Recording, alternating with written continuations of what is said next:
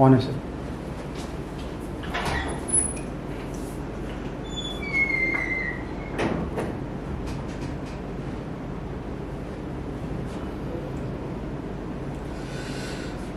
चलिए good afternoon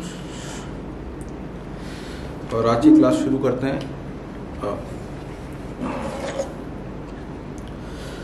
good afternoon जो जो प्रेजेंट हैं ऑनलाइन में, मोनिका, अश्विनी, जसवीर, आकाश, तान्या, शिवांगी ठीक है ये आर्टिकल्स कौन से डेट के हैं सर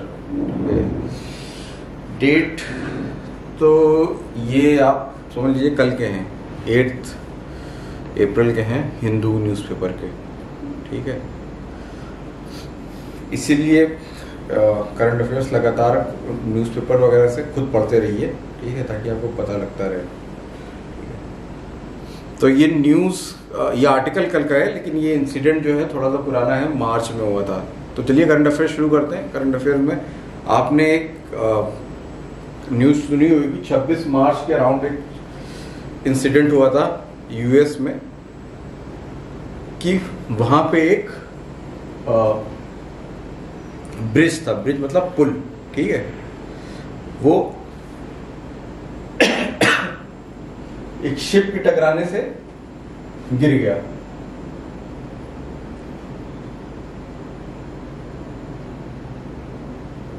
ठीक है? तो एक एक शहर है वहाँ पे बाल्टी मोर ठीक है? बाल्टी मोर नाम की एक जगह है वहाँ पे एक आ, आपका ब्रिज बना हुआ था। आ, इसका नाम था Francis Scott Francis Scott Key bridge, ठीक है? 26 मार्च को क्या हुआ था कि 26 मार्च को एक शिप थी, शिप का नाम मर्चेंट शिप थी, जो कंटेनर ले जाती, जिसका नाम था डाली, ठीक है? वो इस ब्रिज से टकरा गई और ये ब्रिज टूट गया।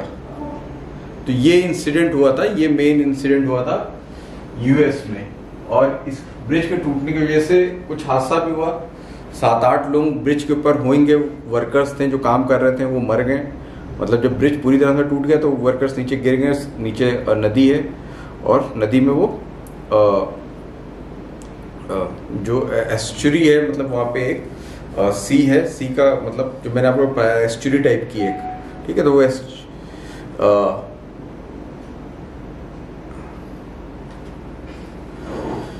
तो एस्चुरी टाइप की है। वो एस्चुरी में सात आठ लोग गिरे मर गए। तो ये मतलब ये न्यूज़ बनी। फिर यूएस के प्रेसिडेंट ने थोड़ा सा इसके बारे में बोला। तो यही न्यूज़ थी। न्यूज़ थी कि 26 मार्च को एक शिप था डाली बाल्टीमोर सिटी है यूएस में। उसमें आप मैप पे देखोगे तो ये है बाल्टीमोर ठीक है? तो यहाँ पे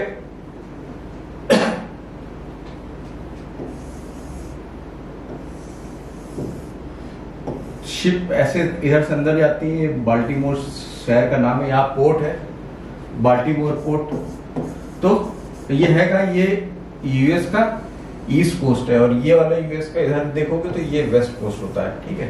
तो यूएस के ईस्ट कोस्ट पे आप देखोगे तो बाल्टीमोर पोर्ट आपको यूएस के ईस्ट कोस्ट पे मिलेगा। तो यहाँ पे क्या है कि यहाँ पे पोर्ट में शिप जाती रहती होंगी, ठीक है? और अनलोड करके वापस आती हैं या फिर इंपोर्ट एक्सपोर्ट करती हैं जो, ठीक है? तो एक कंटेनर शिप होती है। कंटेनर शिप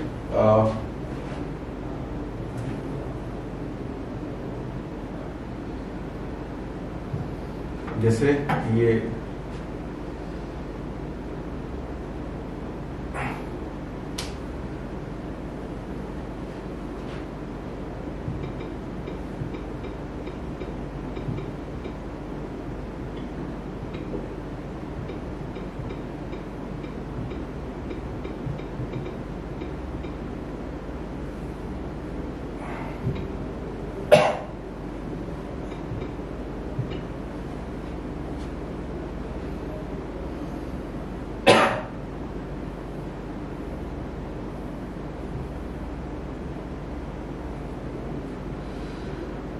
ये देखिए, ये इंसिडेंट हुआ था।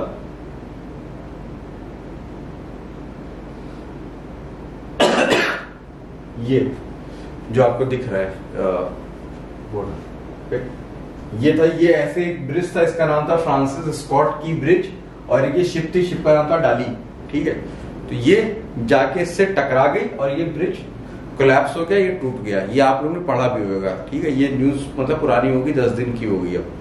तो इसमें क्या हुआ था कि ये बाल्टीमोर पोर्ट जो मैं आपको बता रहा हूँ, बाल्टीमोर पोर्ट में शिप जाती होंगी अंदर, बाहर आती होंगी, ये कंटेनर लोड करती होंगी कंटेनर अनलोड करती होंगी और निकलती होंगी, ठीक है?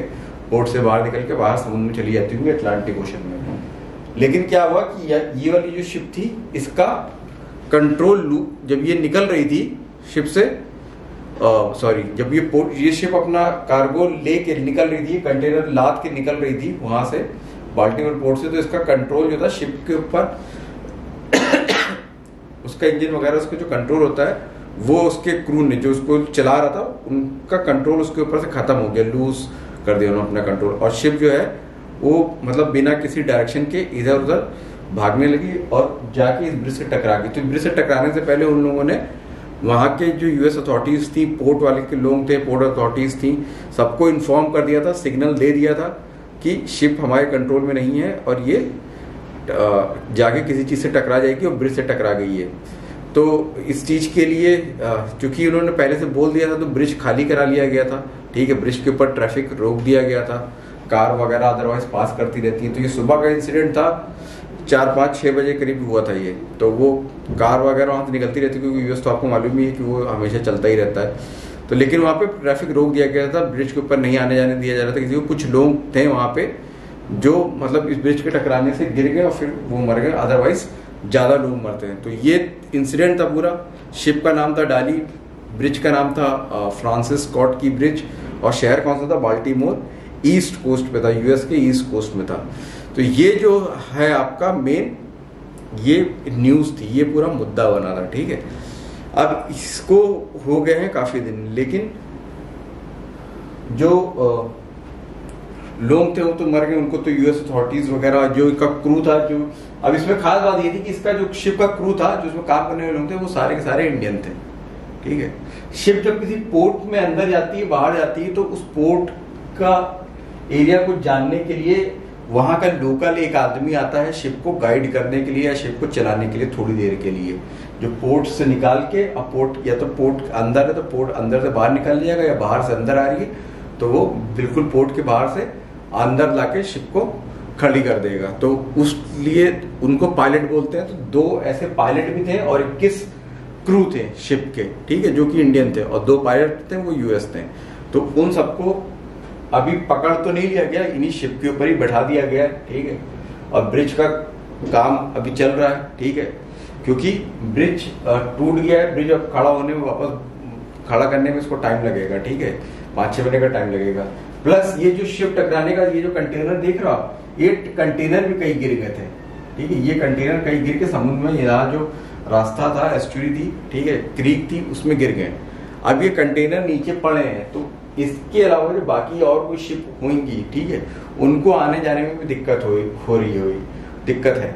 ठीक है? तो ये बाल्टीमोर पोर्ट जो है ना पूरा, बाल्टीमोर पोर्ट, ये रुक गया है, ठीक है? इस पे अब इस समय ट्रैफ़िक रुक गया है। क्यों रुक गया है? कारण यही है, ठीक है? कि एक तो ये सबसे मेन कारण ये है कि इसके जो कंटेनर है ना, ये समुद्र में गिर गए। टकराने के बाद इसके कुछ कंटेनर गिर गए और समुद्र के, यहाँ पे समुद्र की गहराई बहुत ज़्यादा नहीं होगी, ठीक है? तो वो बिल्कुल इसके तल्ले पे पड़े हुए हैं और आने, इसके अलावा जो शिप आई जाएँगी, उनसे वो टकराएँगे। तो वो दिक्कत हो रही है इस वजह से आ, ये बाल्टीमोर पोर्ट का अभी बंद पड़ा है काम ठीक है? और ब्रिज भी कोलैप्स ब्रिज तो बनने में टाइम लगेगा ठीक है? तो आज का जो करंट अफेयर हम लोग देख रहे थे वो ये है कि इसके ऊपर एक आर्टिकल निकला था कल कि इस ब्रिज के कोलैप्स होने से या फिर इंसिडेंट के होने से क्या फ़र्क पड़ेगा ठीक है? मतलब क्या फ़र्क पड़ेगा आपके?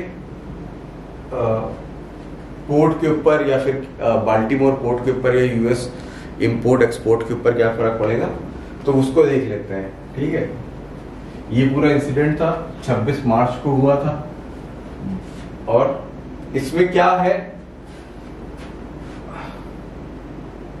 अब क्या क्या फ़र्क पड़ सकता है, ठीक है?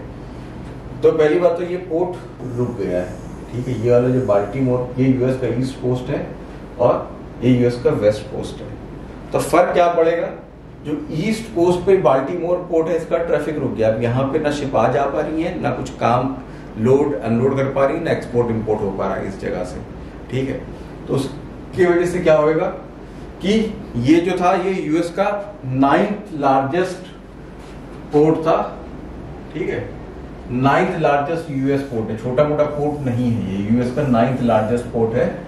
और यूएस का बहुत सारा इंटरनेशनल ट्रेड यहीं से होकर गुजरता है। तो अब इसके बंद होने के कुछ इम्पैक्ट है कुछ आ, मतलब परिणाम है कुछ इम्पैक्ट है कुछ शॉर्ट टर्म है कुछ लॉन्ग टर्म है। शॉर्ट टर्म में क्या है कि जो भी कंपनी या जो भी लोग ऐसा कुछ एक्सपोर्ट इंपोर्ट कर रहे हैं जो कि इस पोर्ट से होके गुजरना था ठीक है अब उनको अपना आइटम रिसीव करने में या भेजने में ज़्यादा टाइम लगेगा। ठीक है? अब उनको ज़्यादा टाइम लगेगा, अब तुरंत उनको नहीं मिलेगा। ठीक है? तो ये ऐसी चीज़ें यूएस में हुई हैं, ऐसी चीज़ें इंडिया में भी हो सकती हैं, ठीक है? तो इसलिए ये मतलब करंट अफेयर इंपॉर्टेंट है, क्योंकि इस तरह की चीज़ें अगर पोर्ट बंद हो जाता है तो फिर लोगों को एक्सपोर्ट इम्पोर्ट करने में एक्सपोर्ट इम्पोर्ट लाने और कुछ सामान भेजने में डिले होता है। और जब डिले होता है तो क्या होता है? उस चीज़ का पैसा ज़्यादा लगता है, ठीक है? आप जो चीज़ मंगा रहे हो, ठीक है? अगर वो आज मिली जा रही है तो इसका मतलब वो सस्ती मिल सकती है, इसीलिए क्योंकि वो तुरंत अवेलेबल है आपके पास। तुरंत अवेलेबल नहीं है तो कुछ डिले के बाद मिलेगी तो फिर महँगा मिलेगा। क्यों? क्योंकि अब जो इस पोर्ट पे भेज सकते थे, ठीक है?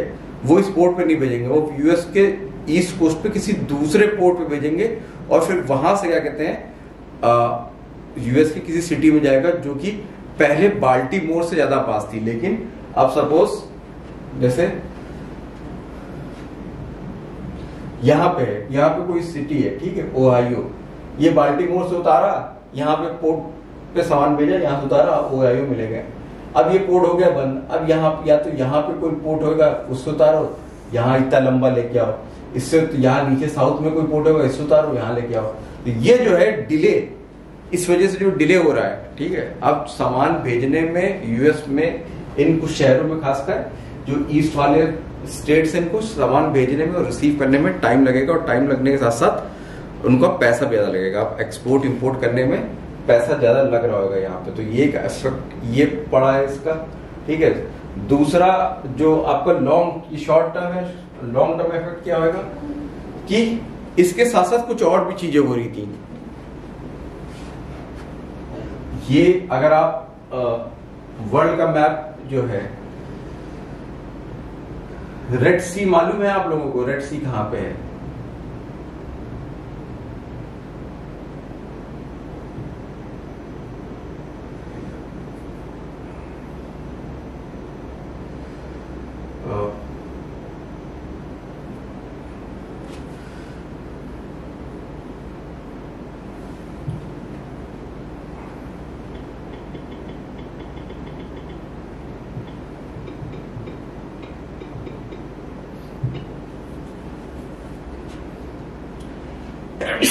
एक्सक्यूज मी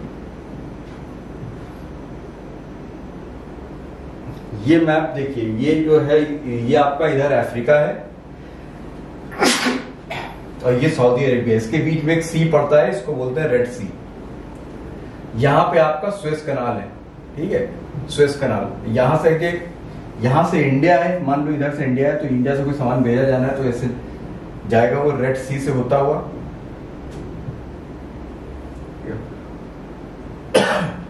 वो वो रेड सी से होता हुआ इधर से जाएगा स्विस कनाल से गुजरेगा, यहाँ मेडिटेरियन सी है फिर इसका अटलांटिक ओशन है, और आपका यूएस जाएगा। ये रूट होना था, ठीक है?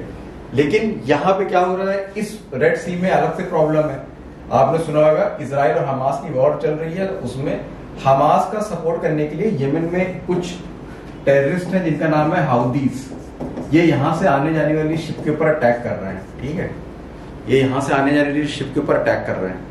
तो अब लोग यहाँ रेड सी से भी शिप नहीं भेज रहे हैं। तो यूएस से अगर कोई सामान आ रहा होगा तो वो पहले से ही क्या कहते हैं ईस्ट कोस्ट क्योंकि ये यूएस को मैंने आपको क्या बताया था ईस्ट कोस्ट है और वेस्ट कोस्ट है, ठीक है? तो ईस्ट कोस्ट से रेड सी पास पड़ता है। अगर ईस्ट कोस्ट से इंडिया कुछ भेजना है तो पहले वो ईस्ट कोस्ट से चलेगा रेड सी से गुजरेगा इंडिया आएगा।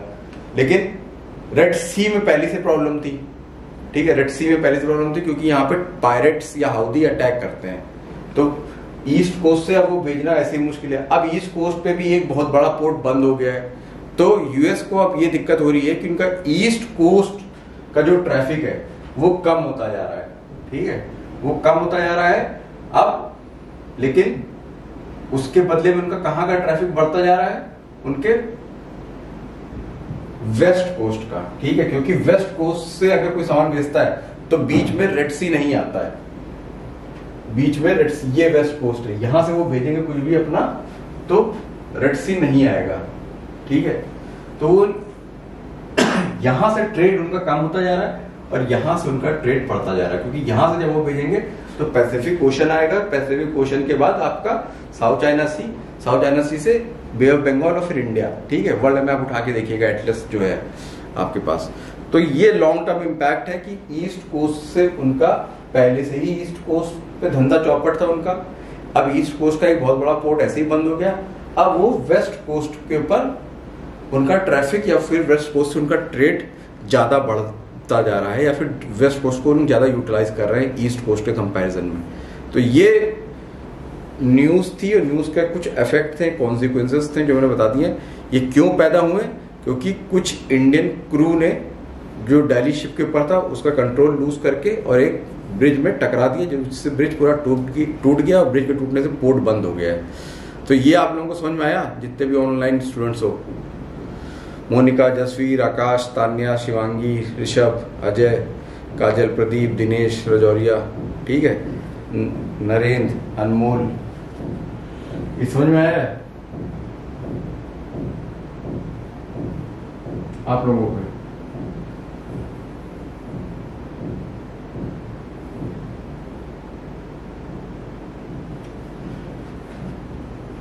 ठीक है। चलिए फिर दूसरी न्यूज़ पढ़ते हैं। दूसरी जो न्यूज़ है वो एक्चुअल में करंट अफेयर नहीं है बस खाली ये है क्योंकि ये आ, शिप किसकी थी? शिप एक कंपनी की थी जो सिंगापुर की है ठीक है।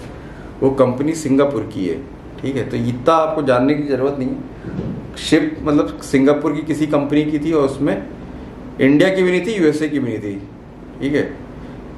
इंडिया यूएसए में अगर कोई शिप आ जा रही है, इसके लिए ज़रूरी नहीं है कि वो या तो इंडिया की हो या यूएसए की हो, वो किसी भी कंट्री की हो सकती है, ठीक है? ऐसे ही मर्चेंट शिपिंग वाले काम करते हैं, वो शिप खरीद लेते हैं, ठीक है? शिप को खरीदना शिप को रजिस्टर करना कठिन काम होता है, ठीक है? कई कंट्रीज़ में सस्ते में ये काम हो जाता है, सिंगापुर जैसी कंट्रीज़ में तो वो लोग शिप खरीद के वहाँ पर रजिस्टर कर लेते हैं और उस कंट्री की शिप बताते हैं और फिर क्रू जो है दुनिया के किसी भी कोने से रख लेते हैं। तो इन्होंने सिंगापुर की शिप थी, सिंगापुर की कंपनी की शिप थी और उस पर क्रू पूरा का पूरा इंडियन रख रखा था। और काम क्या कर रही थी वो? आपका बाल्टीमोर यूएस से सामान ले जा रही थी कहाँ? कोलंबो। मतलब श्रीलंका ले जा रही थी वो। तो ये तो आपका करंट अफेयर था। ये अब एक करंट अफेयर मैंने आपको सेमीकंडक्टर के ऊपर पढ़ाया था पहले तो ये करंट अफेयर नहीं है, ये वाला जो है कोई करंट अफेयर नहीं है। बस खाली ये है कि ये कल के न्यूज़पेपर में बहुत बढ़िया आर्टिकल निकला है तो सेमीकंडक्टर्स के बारे में और सेमीकंडक्टर टेक्नोलॉजी के बारे में या सेमीकंडक्टर चिप बनती कैसे है मैन्युफैक्चर कैसे होती है। तो मैंने सोचा कि आपको इंक्लूड कर दिया जाए इसमें, ये भी बताने में कि सेमीकंडक्टर की चिप या सेमीकंडक्टर का जो सिस्टम है, ये बनता कैसे है, ठीक है? और इंडिया को इस पर कैसे होगा तो आपको मैंने याद होगा जो जो करंट अफेयर्स में रेगुलर है, उनको याद होगा कि मैंने बताया था कि तीन सेमीकंडक्टर बनाने के प्रोजेक्ट इंडियन गवर्नमेंट ने सैंक्शन किए मतलब अलाउ किए हैं। टाटा कंपनी जो है, वो एक ताइवान की कंपनी के साथ कोलेब्रेशन में तीन प्लांट बना रही है। तो चिप में चिप, और मैंने ये भी बताया था, चिप बनाना हर किसी के बस की बात नहीं है। दुनिया में कुछ कुछ ही कंट्री है साउथ कोरिया चाइना और ताइवान और यूएसए जो कि चिप बनाती हैं। बाकी कोई जो आप फ़ोन में सब जगह जो चिप देखते हो ना, ठीक है फ़ोन टीवी कार, सब जगह, जिस जगह आपको जो इलेक्ट्रॉनिक चिप्स दिखती हैं, सब जगह वो चिप जो है, वो बनाना फ़ोन बनाना आसान है, लेकिन फ़ोन में जो चिप्स लगती है ना, जिसके दम पे फ़ोन काम करता है, जिसके दम पे लैपटॉप काम करता है, जिसके दम पे बड़े बड़े कंप्यूटर काम करते हैं, वो चिप बनाना कठिन काम है। तो वो चिप बनाना हर किसी की उसकी वास नहीं है, दुनिया में तीन चार कंट्री हैं जो बना रही तो अब इंडिया भी वो बनाना चाहता है, चिप हम की इंडिया में भी बने और इंडिया की कोई कंपनी चिप बनाने में मतलब आगे निकले। तो उसके लिए ही एक आर्टिकल निकला है, जिसमें ये बताया गया कि ये चिप जो हम लोग करते रहते हैं, ये बनती कैसे है, ठीक है? तो चिप होती क्या है? चिप होती है सेमीकंडक्टर की। अब सेमीकंडक्टर क्या होता है? सेमीकंडक्टर एक खास टाइप का एलिमेंट होता है, ठीक है? जो कंडक्टर और इंसुलेटर के बीच में होता है। अब कंडक्टर क्या होता है? कंडक्टर वो होता है जो कि जिसके थ्रू या जिससे इलेक्ट्रिसिटी बिजली आसानी से पास हो सके। जैसे आपको कॉपर या आयरन अगर इनमें बिजली पास हो रही है और आप छू दो तो आपको करंट लग जाएगा, ठीक है? क्यों? क्योंकि ये गुड कंडक्टर ऑफ़ इलेक्ट्रिसिटी है, ठीक है? इनसे जो बिजली होती है, जो इलेक्ट्रॉन्स के थ्रू पास करती है, वो तेज़ी से पास करती है, ठीक है? तो ये वो कंडक्टर होते हैं और ऐसे ही कुछ मटेरियल इंसुलेटर होते हैं, जैसे रबड़ हो गया, लकड़ी हो गई, ठीक है? इसमें आप बिजली का नंगा तार रख दोगे और दूसरी तरफ़ से छू लो लोगे लकड़ी के, किसी मेज को तो आपको झटका नहीं लगेगा, क्योंकि जो वुड है, वो बैड कंडक्टर ऑफ़ इलेक्ट्रिसिटी है, ठीक है? तो कंडक्टर जो है सेमी कंडक्टर जो है, वो उनकी प्रॉपर्टीज़ जो है कंडक्टर और इंसुलेटर के बीच मिलाई करती है, ठीक है? जब वो प्योर फॉर्म में होते हैं सेमी कंडक्टर सबसे बड़ा एग्ज़ाम्पल है आपका सिलिकॉन ठीक है? सिलिकॉन तो जब सेमी कंडक्टर की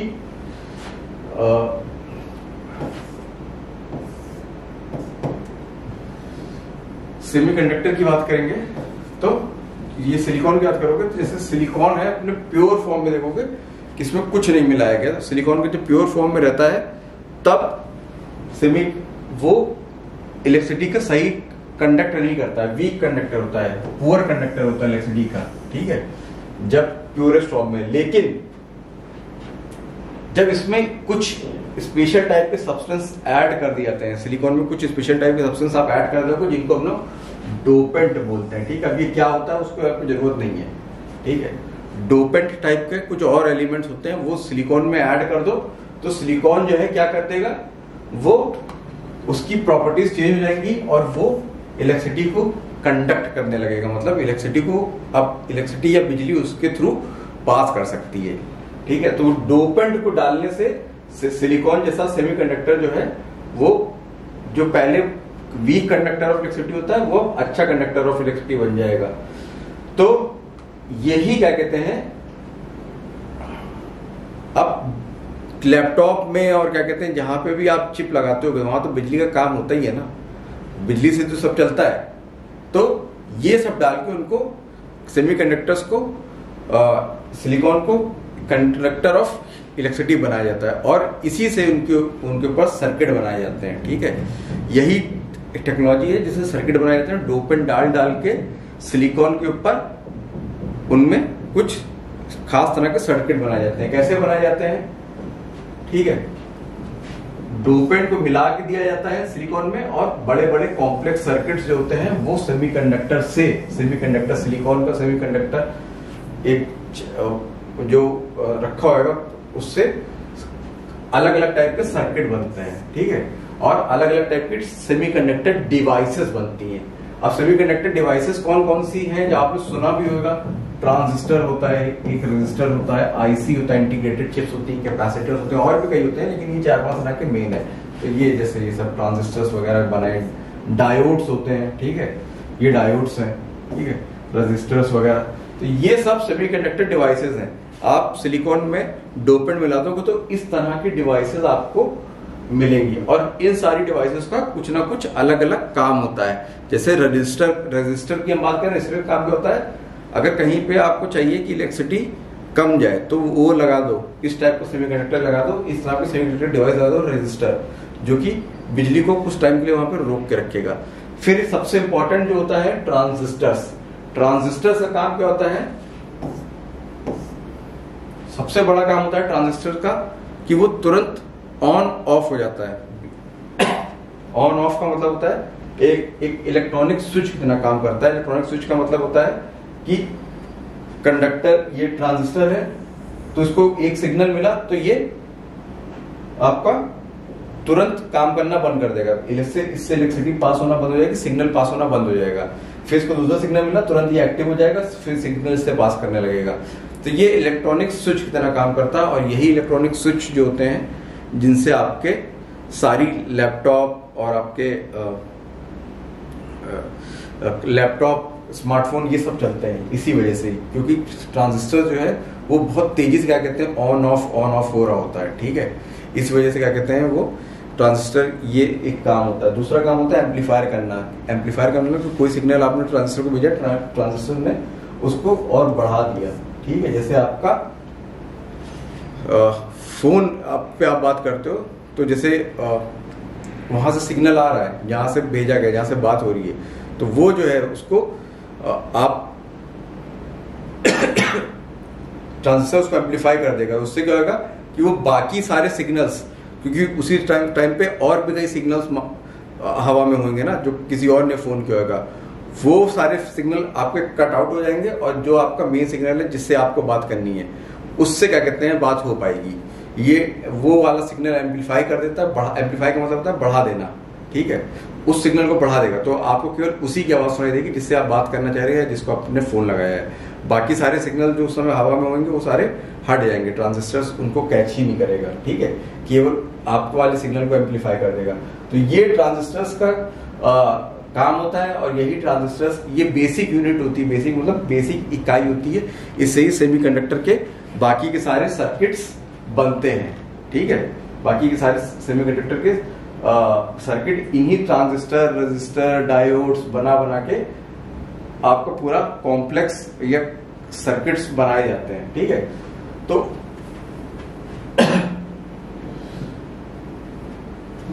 आप इसमें क्या कहते हैं? जो हम लोग बोलते हैं चिप्स को जो हम लोगों ने न्यूज़ पढ़ी उसमें कहता है कि सेमीकंडक्टर चिप्स को बनाने वाली जो टेक्नोलॉजी उसको फैब्रिकेशन टेक्नोलॉजी बोलते हैं, ठीक है? कि कैसे सिलिकॉन जो एक सिंगल एलिमेंट होएगा, उसमें कैसे डोपेंट डाल के उसको सेमीकंडक्टर बनाया जाता है, और फिर उस सेमीकंडक्टर से सेमीकंडक्टर डिवाइसेस बनाई जाती हैं, और फिर सेमीकंडक्टर डिवाइसेस को आपस में कैसे कनेक्ट करके एक आपका सर्किट बना दिया जाता है और वो सर्किट फिर आपके यूज़ होते हैं, वो सर्किट फिर लगते हैं आपके अलग अलग जगह पे जहाँ पे उनका जैसा है यूटिलाइजेशन होता है। तो इस चीज़ को पूरे को बोलते हैं फैब्रिकेशन करने सेमीकंडक्टर जैसे सेमीकंडक्टर चिप को जो बनाने वाली प्लांट ऑटोमोबाइल को बनाने वाली, गाड़ी को बनाने वाली प्लांट को क्या बोलोगे? मैन्युफैक्चरिंग प्लांट बोलोगे ना? वैसे इसके मैन्युफैक्चरिंग प्लांट को हम लोग फेब्रिकेशन प्लांट बोलते हैं semiconductor chips fabrication plant और टेक्नोलॉजी को फेब्रिकेशन टेक्नोलॉजी बोलते हैं। इसमें क्या होता है? सेमीकंडक्टर टेक्नोलॉजी जो है, ये तरीका मैंने आपको बताया कि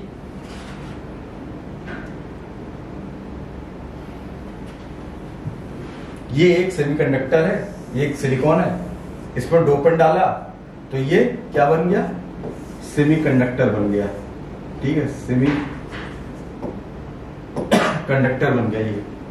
अब इसमें क्या किया है?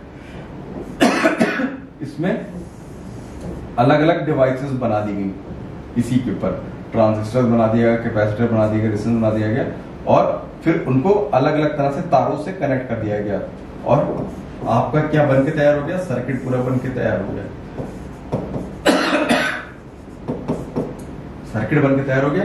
तो ये जो है आपका, ये इस पूरी टेक्नोलॉजी को हम लोग फैब्रिकेशन टेक्नोलॉजी बोलते हैं।